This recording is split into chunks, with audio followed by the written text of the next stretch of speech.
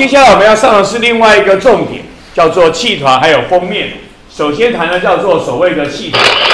什么叫做气团？气团就是一大团，有一大团，有一坨的空气。这一坨的空气温度、湿度、密度差不多，几乎算是一样的。这一大坨的空气就叫做所谓的气团。它在差不多一千公里的水平范围内，可以温度只差十多度，基本上几乎是完全一样的。然后这样叫做所谓的气团。气团的范围，水平距离可以几百到上千。垂直高度呢，可以从几公里到十几公里。不过我们不管垂直，国中生我们的学习仅限在平面、地面上，天上的事情我们基本上不管。如果你真的是气象学者，那你在做预测或什么时候，你要知道天上怎么样怎么样，那是他们的事。我们基本上我们的学习、我们的考试，只考在地面上、地面上、平面上而已啊，我们没有管垂直。那么这有一大坨的空气，温度、湿度、密度都差不多，所以它要在一个地方要停留一段时间，让大家有足够的热交换，有拉来，这样大家才会差不多。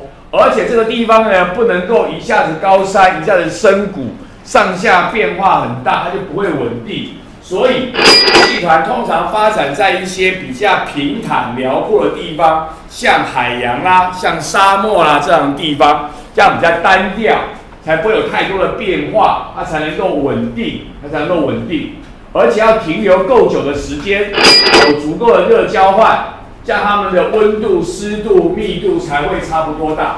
所以，要形成一个气团，要有一个比较广大的。啊，比较单调的环境，然后呢，它那个空气要停留在一段够久的时间，这样它们才会的大致上一致。从我现在说的话，你就知道气团是很稳定的，很稳定的，不太会有什么变化的，不太有什么变化的。因此，你可以知道它应该是高气压还是低气压。这有人考过，有人问过，看一下高压还是低压？你觉得？我们说低气压会怎样？低气压会下雨，对不对？下雨它会稳定吗？不会，所以气压都是什么压？高压。都是高气压，好，所以气团都是高气压。OK，下个名词现在不重要。变性气团，我小时候气象局报气象会讲某某变性气团，巴拉巴拉巴拉，怎么样怎么样？现在他们都不这样子报了。我这个气团现在在这里发展，然后我移开我的发展原地到别的地方去，我就接触到别的东西，因此我的性质就会发生一些改变。比如说，我原来比较高、比较冷，往南走就变得比较热，温度就会增加。我本来在陆地上比较干，我移到海面上就比较潮湿，水分就会比较多。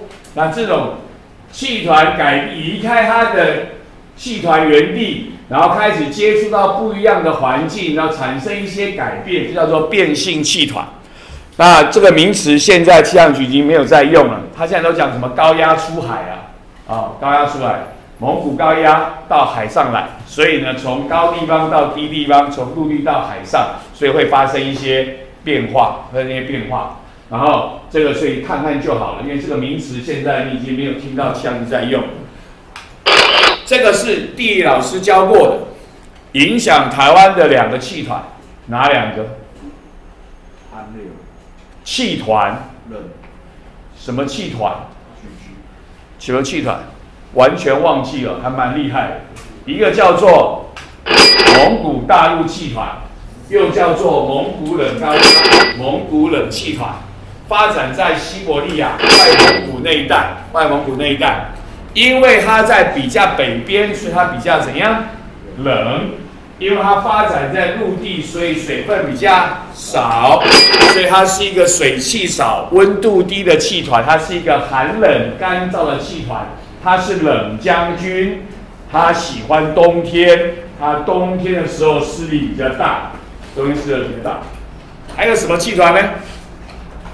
这样没暗示到你哦，完蛋了，地理完全忘光了。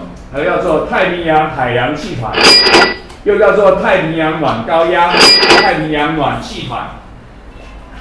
它发展在太平洋，纬度比较低，所以温度比较高。因为发展在海上，所以比较潮湿，所以它是一个温暖潮湿的气团。所以台湾基本上就受这两个气团的影响，一个寒冷干燥的蒙古大陆气团，一个温暖潮湿的太平洋海洋气团。然后你这是你的学习的重点，就是我们未来就要教台湾一年的天气。那你就要晓得，在这一年的天气变化中，我们是受哪一个气团的影响？哪个气团的势力比较大？会有产生什么样的现象？什么样的状况？把台湾的天气变化跟气团连在一块，这就是你后来要学习的重点。知道这些气团如何的影响台湾的天气？啊，谁的势力大？有什么现象，就是你要会的事情。OK，请问有人有问题了吗？没有，很好。